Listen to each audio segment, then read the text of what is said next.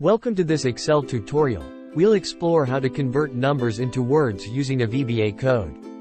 This method provides a convenient way to transform numerical data into written words within your Excel spreadsheets.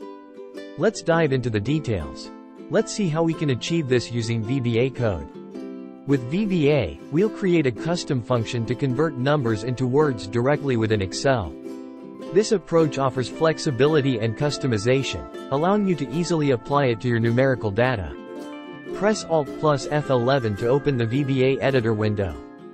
In the VBA editor window, go to the Insert menu and select Module. This will create a new module in the project. Copy the provided VBA code for converting numbers into words. Paste the code into the newly created module in the VBA editor window.